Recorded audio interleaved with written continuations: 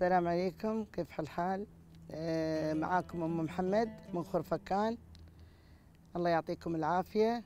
عندها شغلات العطور. آه، طبعا آه، مبتدئة ما مبتدئة بادئه من 35 سنة شغلتها العطور والدخون والمخمريات الكريمات كلها على بعض. اليوم بقعد أسوي لكم العطور شلون أسويها. أبدي فيها إن شاء الله. الله يعطيكم العافية. طبعا العطر جايبة المواد العطر مع الكحول مع الماي. في عطر ماي مال العطر مال الفراش مال الغرف يتسوى بالماي. عطر وماي ومبيض. والعطر مال الملابس طبعا بالكحول يتسوى. فببدي أسوي لكم العطر مال الملابس. زين هاي الغرش الفاضية. طبعا الكل يعرفني ام محمد صاحبة العطور من أول أسرة منتجة بدأت في خرفكان طبعا عاشة بوكاس ما في غيرها. بيض. زين. نسوي العطر أول شي بدي هذا العطر.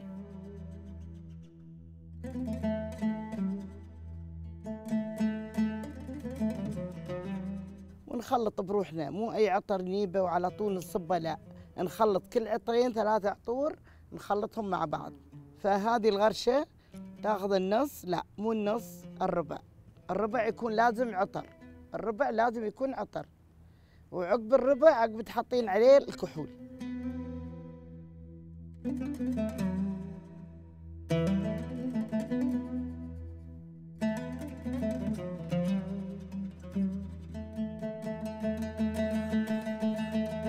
طبعا أنا خلطتنهم هذول العطور أنا جايبتنهم مخلوطين مخلطتنهم في البيت.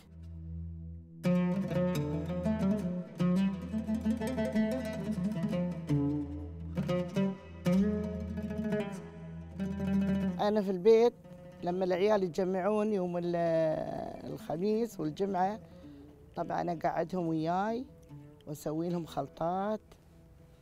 أقول لهم تعالوا عشان لازم تتعلمون الخلطات. فأعلمهم العطور بروحهم كل واحدة تختار عطرها وتسوي. العطور الله يسلمكم يباله تركيز يباله شغل يعني ما بس تعال جيب العطر وصب لا يباله تركيز. أنا ماخذه هذولا عشان أحط فيهم العطور عشان أعرف المقاسات. الحين بديت بروحي أعرف يعني ما يحتاج إني أحط المقاس خلاص الغرشة نص الغرشة لا ربع الغرشة بيكون العطر. وبعدين تحطي عليه الكحول. زين بعد ما اخلط العطور وأحطيها بعدين أبتدي إن أسوي منها العطور. أدخل معارض أروح معارض ابو ظبي دبي شارجة يودوني وأروح.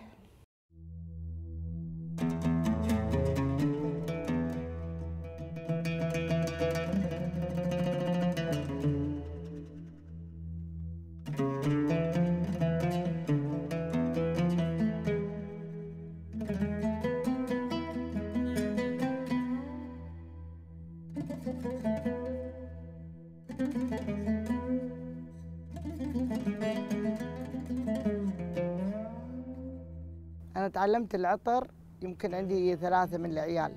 يعني تقريبا 40 سنة 45 سنة وأنا هاي مهنتي يعني. العطور الدخون هذه مهنتي المخمرية. هاي بديت أشتغل. يوم بديت يعني أسوي في الدخون في العطور أشياء خفيفة. بس بديت أدخل في المعارض تعلمت كل شيء. يوم دخلت المعارض علموني ما شاء الله المخمرية تعلمتها في المعارض العطور تعلمتها في المعارض ودخلت دورات بعد دخلت دورات عشان أتعلم. أول كنت أنا ويا المرأة النسائية اللي في اللي في أبو ظبي دخلت وياهم. بعدين بعدين طلعت تاني من الشارجة رحت العين. يعني كل مناطق الدولة أنا درت عليها مشيت وياهم. والحين أعلم يعني أنا أول تعلمت ولما تمكنت من التعلوم الحين أعلم الحريم. الحين يأخذوني يودوني يعني برا وأعلمهم. أسوي لهم العطور. والدخون أعلمهم بالدخون والعطور. طبعا هاي اللي سويته الحين هذه عطور ما ملاب مال الملابس طبعا غرش كبار أسوي وصغار أسوي. هاي حق التوزيعات حق شو اسمه تعطين حد يعني. أحب أسوي لكم عطور مال الفراش. مال الفراش. شوف مال الفراش لازم تكون الكمية ربع الغرشة. ربع الغرشة. يعني هذا شو ما كفى لازم أزيد. لازم أزيد الغرشة عشان تطلع ربع الغرشة. طبعا هذا العطر بعدين أحط عليه المبيض. طبعا عندي مبيض للعطر مو مبيض مال الملابس بعد لا مبيض للعطر. هذا تحطي على العطر بعدين نزل عليه المي. لازم يطلع ربع الغرشة. هذا المبيض يذوب العطر. لما العطر ترى إذا حطيتي عطر وماي لا العطر يتم فوق صح؟ والماء يتم تحت. هذا لا هذا يذوب لك العطر. هذه إذا بغيتي طول للفراش للمكاتب للسيارة يعني لازم تسوين هذه العطر. هذاك العطر القبلي مال الملابس.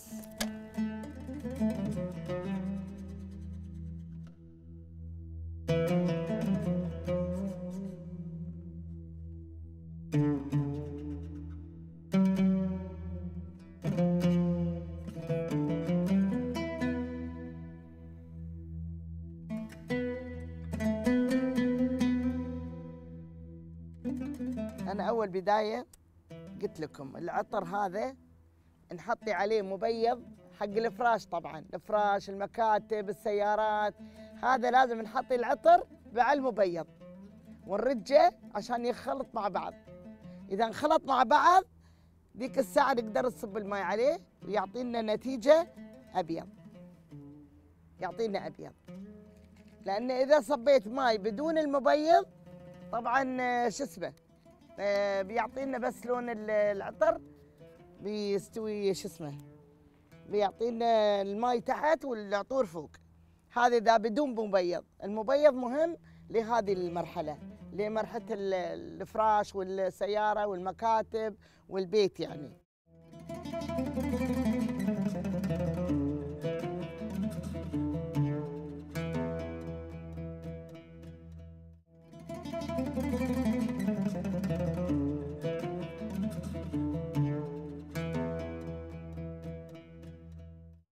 بسوي لكم طبعا الخلطة المرة الثانية هذه مال الفراش.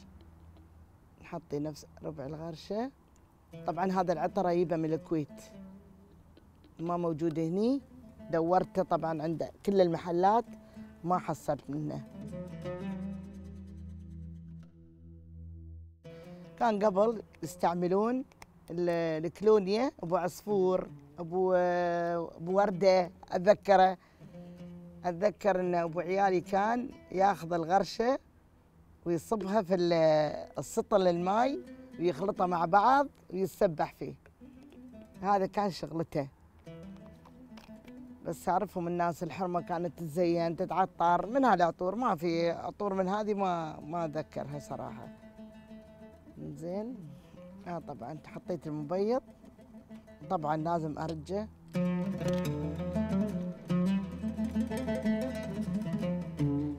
طبعا هذا أنا محطيه في لون قبل لا اياه هو يكون شفاف بس اللون أنا محطيه فيه لون عشان يعطينا اللون الوردي.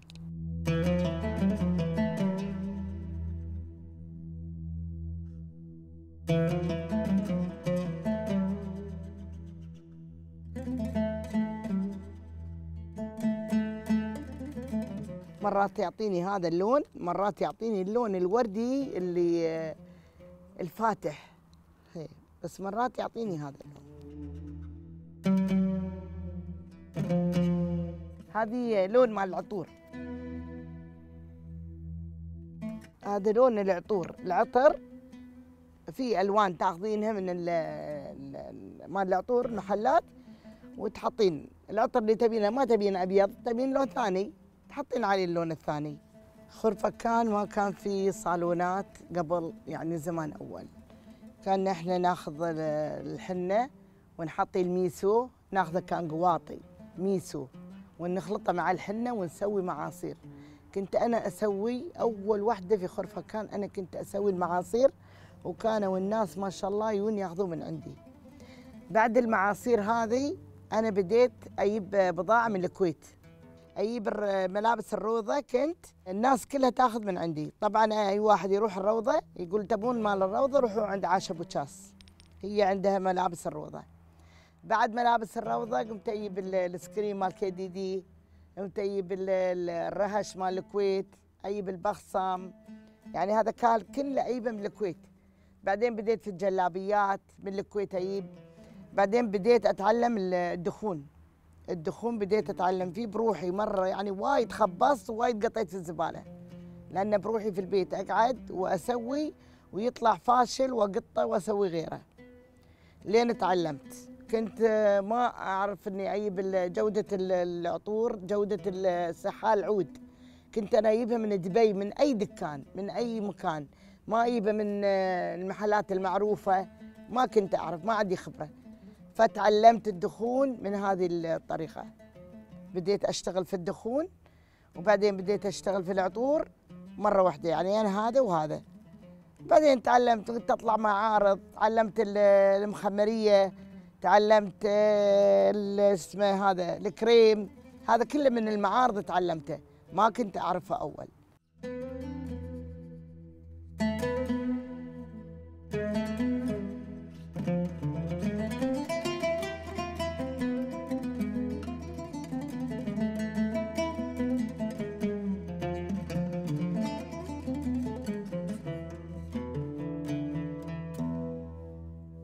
أنا متزوجة ترى عمري 14 سنة. فأنا بديت آه، من بيت أمي وأبوي. بس إحنا يوم طلعنا الحين تعلمنا أكثر. طلعنا من عند أهالينا نعرف نطبخ نعرف آه، نخبز نعرف ما شاء الله يعني وايد أشياء إحنا نعرفها. زين لما طلعنا من عند أهلنا. وبعد تعلمنا عقب عرفنا على ال- الدخون والعطور والاشياء يعني الخياطه البراقع ال- وايد أشياء الحنه وايد أشياء إحنا سويت. أنا صراحة وايد أشياء سويت. يعني من يوم عمري عمري يمكن آه، 18 20 سنة وأنا في هذا المجال. أنا هنا في البيت مثلا عندي يوم الخميس أقول للبنات من اللي تبي تتعلم؟ وكلهم ما شاء الله يقولون لي إحنا نبي نتعلم. كلهم. عيال ولدي عيال آه، أولادي ثلاثة من أولادي وثلاثة أربعة من بناتي عيالهم. طبعا آه، كلهم يتجمعون مع بعض واقعد أعلمهم العطور. كل واحدة تأخذ لها نوع من العطر وأوريها شلون تسويه وهي تسويه وتاخذه حقها. فأجيب لهم المواد مال الدخون وأقول لهم يلا ماما يلا كل وحده تحطي شيء في الماعون كل وحده أعطيها ماعون. مثلا القلاصين قلاصين قلاصين. مثلا قلاص قلاص قلاص. فأعطيهم الكميات العطر والعنبره ودهن الورد ويبدون يشتغلون ويسوون لهم كور كور صغار كل واحدة تأخذ غرشتها وتوديها بيتها. فالحمد لله إحنا عيالنا يعني كلهم يعرفون علمناهم على العطور على الدخون على الكريمات طبعا اي بروحهم يشتغلون ويسوونه. فالأهالي لهم دور في هالشيء وإحنا الحين نعلم عيالنا وعيالنا يعلمون عيالهم وهذه هي ترى أصلا الواحد ما يقعد يعني يعلم عمره وخلاص ما يعلم حد لا ما يستوي. لازم تعلمين على الاعداد إحنا تعلمنا من وين؟ أنا تعلمت المالح من ي- من عمتي ام ريلي وتعلمت المهياوة من عمتي ام ريلي هذا اللي أنا تعلمته منها. وللحين أذكرها الله يرحمها يعني ما قصرت وياي وعلمتني. والله يعطي العافية. أمي بعد تعلمت منها أشياء. كل واحدة تتعلم منها من عندها أشياء. زين فالحريم آه، يبون ال- العطر ال- العربي أكثر شيء. بس في البنات اللي الحين طالعين وهذا يحبون الفرنسي بيكون أفضل. هنا إحنا يوم نروح السوق نقول لهم نبي الفرنسي ونبي العربي. فناخذ اختيارين ال- ال- ال- النوعين. بس إحنا يوم نجيب عندنا نخلط. مثلا العطرين أو ثلاثة عطور نخلطهم مع بعض ونسويهم هذه خلطتي. هذه أنا مسويتنها يعني لو يروحون المحل الدكان يبون ياخذون ال- ال- الخلطة هاي مالي ما يقدرون ياخذونها. ليش؟ لأن أنا خالطه عطرين ثلاثة عطور مع بعض. فما ما يقدرون يعني يقول هذا العطر ما عندي. هو من عندنا ما لنا بس آه، م- جمعتهم مع بعض. ثلاثة عطور أربع عطور خلطتهم مع بعض. مرات خمسة عطور عط- أخلطهم مع بعض. فيعطيني نتيجة عطر واحد. فيوني يسألوني يعني هذا العطر آه، حلو نبي نبي مثله. لأن صراحة هذا أنا خالطة أربعة مع بعض فما بتاخذون نتيجة يعني وأنا صراحة ما أحفظ كله بالدفتر والدفتر في البيت. فهذا اللي أمشي أما تأخذين عطر من المحل وتسوين طبعا الكل بقلدك بيأخذ الدخون ولا بيأخذ العطر وبيروح المحل وبيأخذ نفسه نفس العطر. ترى هذا تخلطين ال- الأربع عطور الثلاث عطور تخلطين العطور الأربعة مع بعض يعطيك ناتج دخون واحد. هذا إذا كان فرنسي أما إذا كان العربي نخلط بعد الحنة ال- العنبر عطر العنبر والحنة والمسك وال يسمونه الصندل. هاي نجيب العطور القديمة الأولية العربية. فنخلطهم مع بعض نشوف أي يناسب هاي أي عطر يناسب أي عطر فنخلطه مع بعض ونسوي الدخون. ونشتغل بعد مثلا في المخمرية المخمرية أنا أشتغل فيها أحط فيها يعني آه، يسمونه الزعفران ال- السائل الزعفران ال- ال- ال- جسمه الدرب هذا الجسمه ومع العطور المسك مع يعني أجمع أربع خمس عطور وأدمجهم مع ال- مع الزعفران.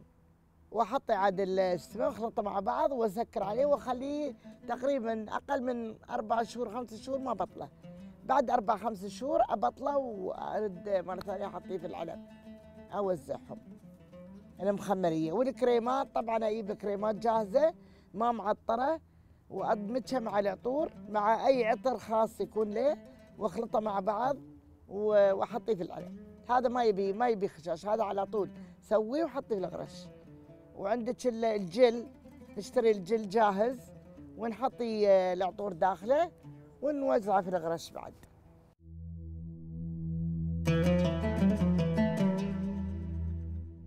المخمرية تطلع لازم الزعفران المري هذا بس مو مال الأكل لا في زعفران مال ال- العطر.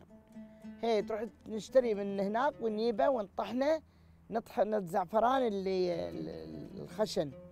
نطحنه وبعدين نخلطه نحطيه داخل مرطبان ونحط المسك الأبيض المسك السائل الزعفران السائل دهن العود العنبرة يعني نخلط العطور نخلطها مع بعض ونحطيها في غرشة ونسكر عليها ونخشها. نخشها يعني أربع خمس شهور ما نطلعها ست شهور بعدين نطلعها ونوزعها بالغرش. هذه اللي مخمريه أما ال- العطور لا العطور عادي تسوينه وعادي تعطر أي فيه. عطر الفراش عطر الملابس عطر نخلط العطور مع بعض. إيه كل نحطيه أول كان زمان أول الدخون مالهم كانوا يسوونه في صواني ويقصصونه بالصينية ويلحفونه بشيلة ويحطونه بالشمس. إحنا الحين لا. إحنا الحين دخولنا اللي نسويه على طول نقرص ونحطيه في الغرش يا نسوي دواوير يا نسوي قروص في الآلة هاي مال ال- الفلافل. أه ونحطيه في الغرش ما ن- نحطيه ما نحطيه لا شمس ولا داخل البيت. لا على طول نسوي بالهذا ون ونحطيه في الغرش ما نخش يعني. هذا الدخون. العود المعطر. نجيب العود من عند ال- العطار. النظفة إذا في عيدان إذا في آه، رمل إذا في شيء يعني النظفة النظفة ومنظف من عندهم بس بعد واحد هذا. ونحطيه في مرطبان في غرشة عودة. وهناك يكون عندنا أربع خمسة عطور مخلوطين مع بعض. مخلط جاهز. نجيبه ونصبه على العود. نصبه نغطي العود بهذه العطور ونسكر عليه ونخشه في ال- الكبت شهرين ثلاث شهور شهر إذا مستعيلة عليه. بعدين تطلعينه. طبعا لازم ترج ترجين زجاجة يعني كل يومين كل ثلاث أيام. بعدين تجيبينه تحطيه في الغرش. حطينا بالجسم تودي تبيعينه خلاص. مثلا البودرة البودرة تبينها معطرة. بودرة تاخذينها وتحطين فيها عطور مثلا يعني شوية كمية صغيرة وتفركينها طبعا يكون لابسة قفاز. تفركينهم مع بعض وترديه مرة ثانية تحطين في بطل وتحطين للجسم. يكون معطر وحلو.